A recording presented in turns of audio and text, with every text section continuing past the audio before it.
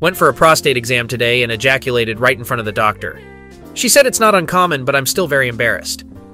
And what's your most embarrassing doctor related story? When I was 18, I found a tumor on one of my testicles. I went to my family doctor. He said to make sure it wasn't cancer and to do an ultrasound. Scary shit for an 18 year old boy, or really anyone. So I went to the diagnostics center, got my paperwork sorted out, walked into the room, and sat on the couch. A couple minutes later, a nurse came in. Blonde, about 25, hot as hell. She told me to take off my pants, lie down on the table, and spread my legs a little. I immediately felt a familiar feeling down below and realized I was going to be in trouble. She put gel on the ultrasound chamber and then squeezed some gel on her fingers and started rubbing my balls. Dudes, that was awesome. She gently lifted my cock and covered it with a towel so only my ballsack was exposed, and that was enough. In six seconds, I had a rock hard boner. I was blushing and embarrassed, and she noticed, of course. I tried to distract myself by asking her questions about the device and how it worked. Did you know that you can place the cursor on a picture of a vein or artery, and then the machine will play the sound for that particular part only? After about 15 minutes of slowly rubbing this plastic tool on my balls, it was over. She said, Well, your testicles are healthy, just some kind of obstruction in the ejaculatory flow. And then she added that masturbation would get rid of the problem. She was right. When I was 16, I had to go to a cardiologist to get my heart checked.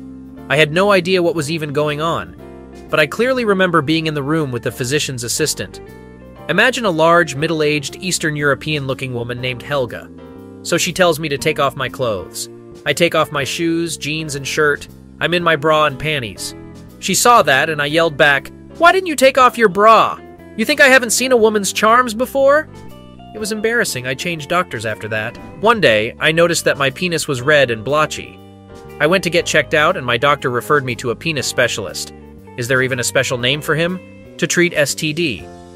I, of course, immediately accused my girlfriend of cheating on me. We had an argument and broke up. But then I went to see a penis doctor and his assistant. They took one look at my problem and said, Huh, it's just a sunburn.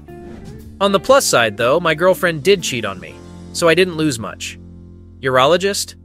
Cockologist. I was at the ophthalmologist's once, and during the examination of my eye, he said, Good, now open wide. So I opened my mouth as wide as I could and started waiting. It must have been a minute before he added, I actually meant your eye. When I was 15 years old, I went to see the pediatrician for a checkup. She slipped her hands down my pants, cupped my scrotum, and asked me to cough. I have no idea why that was necessary and it actually felt like a pedophile move. I think a lot of people know what I'm talking about, so she's got my balls in her hand, and I'm a tricky one. I look her right in the eyes and I say, Oh yeah, rub my balls, stroke my cock. When she heard that, she laughed, left the room, and told everything to my mom. To say that I was displeased is an understatement. I also come once during a prostate exam. The doctor was so angry she practically screamed at me, Man, I hadn't even started yet! I'm a bit of a weirdo. Sometimes I go out with an anal plug in my ass and wear my wife's panties under my regular clothes. Believe it or not, but only the thought of it makes me horny. One of those days, I was in a car accident. I was rushed to the hospital. Of course, the doctors had to undress me to make sure I was okay. Later, it turned out that the nurse had to take those panties off me and remove an anal plug. But the most embarrassing moment came when I changed into my hospital gown and they gave me all my stuff back. Is it normal for the doctor to put his hands on your shoulders during a prostate exam? Only if he kisses your neck. Yes, it's totally normal, no questions asked. After all, he does it for a living. My doctor actually made me check his prostate after he checked mine. It's weird because mine was putting his dick on my shoulders. I had some tough health issues in college, so I went to the cardiologist one day. I had to take off my top, metal jewelry, and lay it all out on the table. By the way, I had my nipples pierced a couple weeks before and managed to forget about it. And then the doctor starts doing a scan, something like ultrasound of my heart, and again reminds me that jewelry can interfere with scans, as if to hint that I should take out my piercings. I see him politely look away and start trying to get those rings off, but fuck, nothing comes off. I try. The right one I manage to get off, but here's the left one and I just can't move it. He sees this, realizes I'm close to ripping my nipple off, and says very briefly, Erm, can I help you? I know he didn't want it at all, but I couldn't do it myself, so I also responded very briefly with, Yes, please, I'm sorry. After some tricks, he was able to pull the damn ring out of my nipple and we continued the examination. Afterwards, I got drunk off my ass and called a friend who laughed heartily at the whole story. When I was younger, once I went to the doctor and for whatever reason he needed to see my cock. I took off my pants. When he saw my dick, he frowned strangely, then looked up at me, then looked at my dick again and frowned again. Thus began a series of disappointments with my dong. You said you pulled your ankle? All right, let me take a look at your penis. When I gave birth to my son, the doctor opened my amniotic bubble. There was meconium in the amniotic fluid, first baby poop, so they started washing me with jet of water. The baby mesmerized the passage, so the fluid they pumped into me didn't come out. I remember them saying, nothing is coming out. It was time to push, and the doctor must have known what was coming next. Because when I looked up, she was dressed as Gorton's fisherman, wrapped up head to toe in a raincoat. The moment my son's shoulder dislodged a little, all of the remaining amniotic fluid and the one they filled me with came crashing down on the doctors with a giant typhoon. The entire staff shrieked, Wow! and jumped back. It was unrealistically moist bringing my son into the world. Thank you for giving me 143rd reason to not have kids. Damn, your son is going to be a surfing legend one day. Is your son an Aquarius by any chance? He's probably going to be the next Michael Phelps. I dislocated my shoulder snowboarding once. When the doctor came into the emergency room to fix it, I panicked.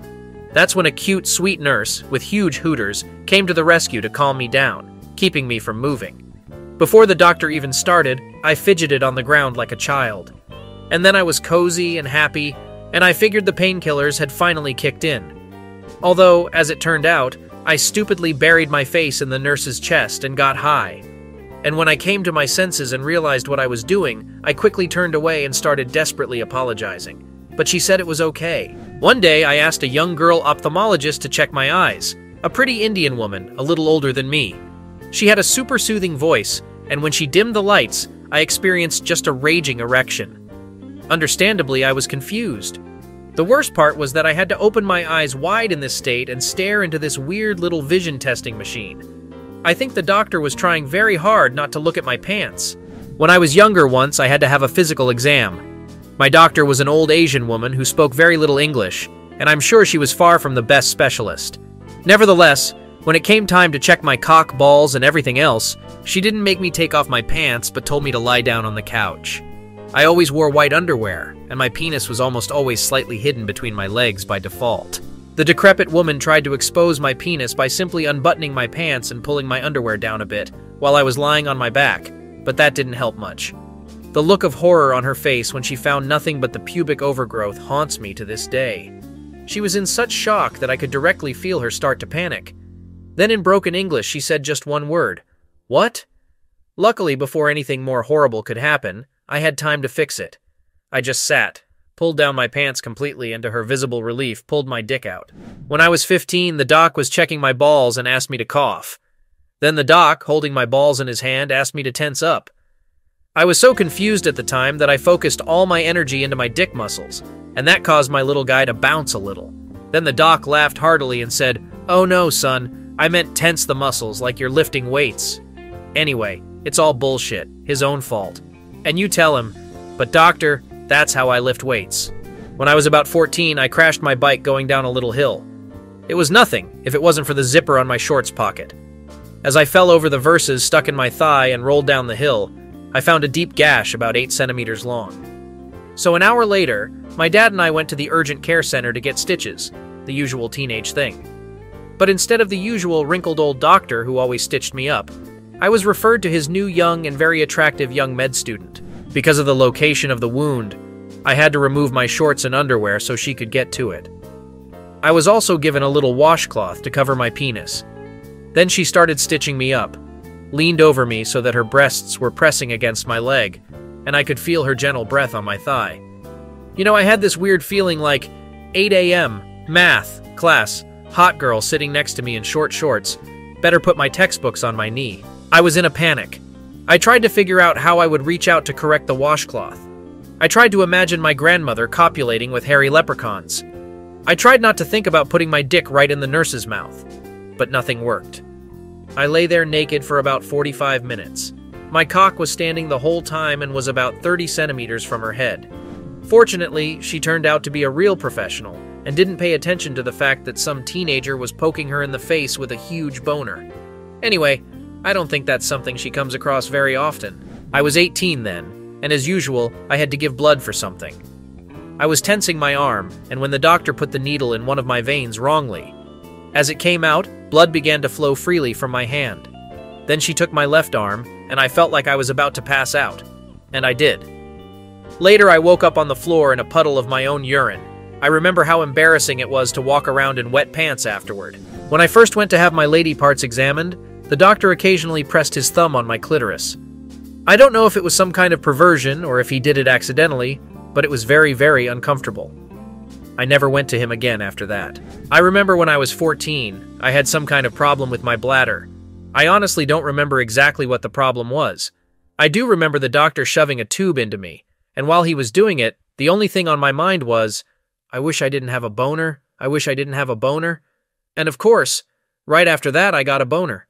Like just a tube in my dick is not enough painful and embarrassing shit. Thanks so much for watching. In the comments below the video, write about your most embarrassing, humiliating, or painful doctor visits. And don't forget to watch our other awesome episodes. Bye bye.